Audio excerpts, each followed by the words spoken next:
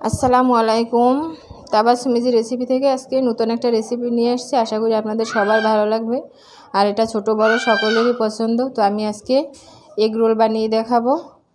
তো আমি এখান থেকে ডিমটা সরিয়ে রাখছি। আর এখানে নিচ্ছি আমি ময়দা। তো আপনারা চাইলে এটা আটাও ব্যবহার করতে পারেন। আমি দিয়ে দেবো এতে পরিমাণ মতো লবণ।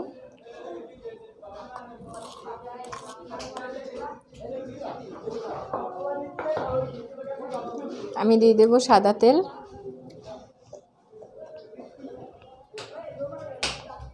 এখানে আমি তিন টেবিল চামচ পরিমাণ মতো সাদা তেল দিছি। এটা আমি হাত দিয়ে প্রথমে মিশিয়ে নেব ভালো করে।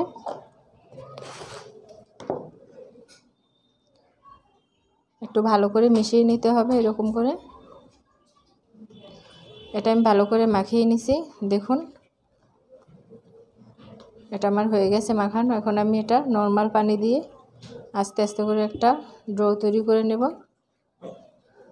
তো এটা আমি একবারে পানি দেব না। একবারে দিলে বেশি হয়ে যেতে পারে। আমি এটা আস্তে আস্তে করে পানি দিয়ে ভালো করে একটা ড্রো তৈরি করে নেব। আমি একটা ড্রো তৈরি করে নিছি দেখুন। ঠিক এরকম করে করতে হবে রুটি বেলার মতো। আমি এখন এটায় অল্প করে সাদা তেল মাখিয়ে নেব। চারোদিকে আমি ভালো করে এটা তেল মাখিয়ে নিচ্ছি। তারপরে আমি এটা রেস্টে রেখে দেব পনেরো থেকে বিশ মিনিটের জন্য। এখন আমি এই সবজিগুলো কেটে রাখব।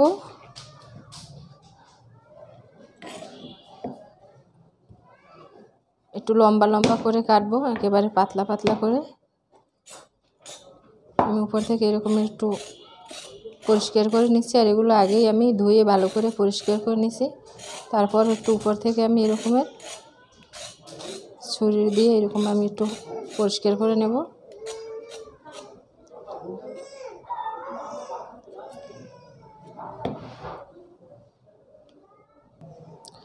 আমি এটা ভালো করে পরিষ্কার করে নিছি। এখন আমি একটু লম্বা লম্বা করে নেব কেটে। তো এটা দিয়ে ই করলে অনেক ভালো হয়। তো এরকম করে এরকম করে আমি লম্বা করে নেব গাজরটা। দেখাচ্ছি।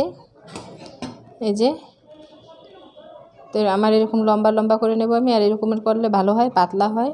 তাই আমি এরকম করে সবগুলো ই করে নিচ্ছি। গুলো কেটে নেব এখন। আমি সবগুলো কেটে নিছি আর শশাটাও আমি ওটা থেকেই কুচি করে নিছি দেখুন। একেবারে লম্বা লম্বা হয়েছে। তো আপনারা চাইলে এতে আরও সবজি দিতে পারেন, ক্যাপসিকাম বা টমেটো, তো আমি এগুলো দিছি। এখন আমি রুটিটা বলে নেব প্রথম। আমি এটা বেলার জন্য একটা শিল্পেটা নিছি। এটা একেবারে সফট হয়ে গেছে, তো আমি একটু আরও হাত দিয়ে একটু মুদে নিচ্ছি আমি এখন এটা লাচি কেটে নেব। আমি তিনটা বানাবো এই জন্য আমি তিনটা লাচি কেটে নিচ্ছি সমান ভাগে ভাগ করে। শিল্পাটা নিছি, আমি এই শিল্পেটায় বেলে নেব।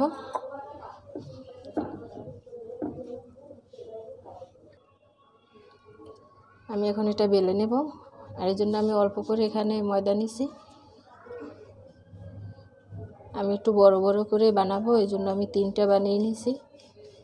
তো আমি এগুলো বেলে নিছি প্রথমে।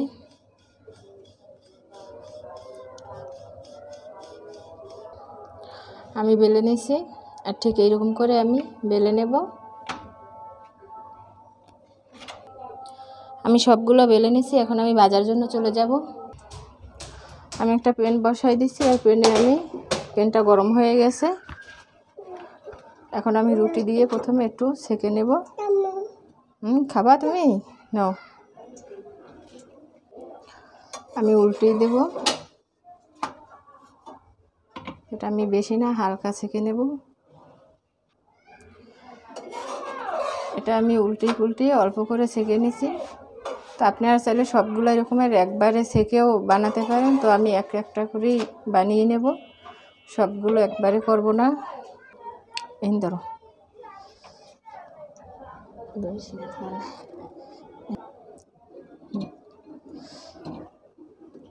আমি একটা ডিম দিয়ে দেব একটা বাটিতে।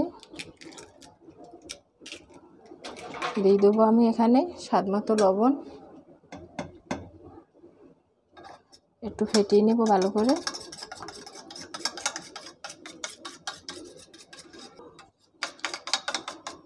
এটা আমি ভালো করে ফেটিয়ে নিছি, এখন আমি এটা দিয়ে দেব। এখন আমি রুটির উপরে দিয়ে দেব।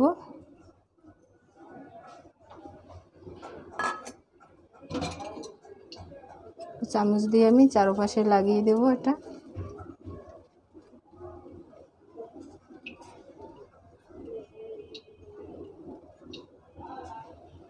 আমি লাগিয়ে দিয়েছি চারপাশে। এখন এটা আমি উল্টিয়ে নেব। তো আপনারা চাইলে এটা ডিমটাও প্রথমে দিয়ে নিতে পারেন, তারপরে রুটি দিতে পারেন। তো আমি এরকমই দিয়ে দিছি কারণ এটা চারপাশে লাগে এই জন্য আমি এরকম দিয়ে দিছি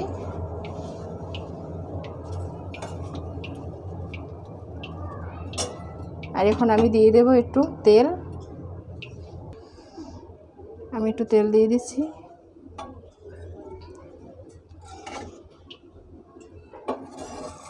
চারপাশ থেকে আমি এরকমের একটু তেল দিয়ে দিছি সাদা তেল। আমি এটা উল্টিয়ে দেব।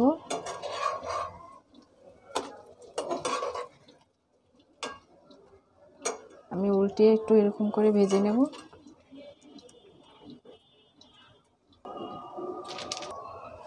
আর দোনো পাশ ভাজা হয়ে গেছে। এখন আমি এটা তুলে নেব। আমি আরও একটা ভাজা দেখাই দিচ্ছি। আমি আরও একটা রুটি সেঁকে নিছি। তো এটা ছেঁকা হয়ে গেছে আমার। তো এটা আমি আর একবার আর এক রকমের ভেজে দেখাচ্ছি যে কীরকমের এটা আমি তুলে নিছি। এখন আমি দিয়ে দেব তেল। তো এই তেলটা আমি এখন দিয়ে দিচ্ছি আর ওটা পরে দিচ্ছি কারণ এটা, ওটার ডিমটা দিছি আমি রুটির উপরে। এই জন্য আমি প্রথমে তেলটা ব্যবহার করি নেই। তো এটা আমি এখন দিয়ে দেব ডিম। তো আমি ডিমটা গোলাই রাখছি প্রথমে। এখন আমি ডিমটা দিয়ে দেব প্রথমে। তারপরে আমি রুটিটা দিয়ে দেব উপরে। তো আপনারা এরকম করেও ভেজে নিতে পারেন।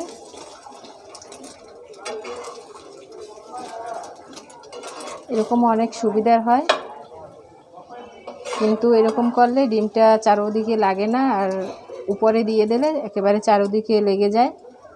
তা আমি সবগুলো এরকমের প্রথমে ভেজে নেব, তারপর দেখাচ্ছি আমি। আমি সবগুলো ভেজে নিছি। এখন আমি এতে দিয়ে দেব গাজর। তারপরে দিয়ে দেব আমি শসা। পেঁয়াজ কুচি।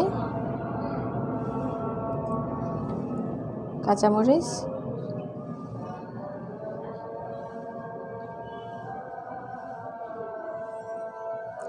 দিয়ে দেবো আমি বিট লবণ, অল্প করে।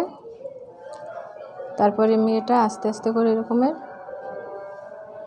মুড়িয়ে নেব। আর একটা পেপার দিয়ে নেব।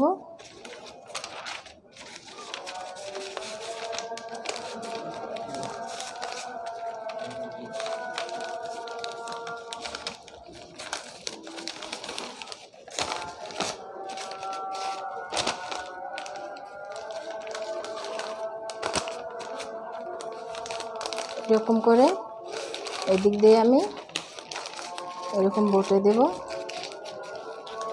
তৈরি আমার এগরোল তো আমি সবগুলো এরকম বানিয়ে তারপর দেখাচ্ছি। সবগুলো আমি বানিয়ে নিচ্ছি। এরকম আপনারা অবশ্যই বানিয়ে খাবেন, খেয়ে কমেন্টে জানাবেন যে কেমন হয়েছে। ভালো লাগলে বেশি বেশি লাইক, কমেন্ট, শেয়ার করে দিবেন। আর আমার চ্যানেলে এখনও যারা নতুন বন্ধুরা আছেন, অবশ্যই সাবস্ক্রাইব করে দেবেন। ভালো থাকবেন। আল্লাহ হাফেজ।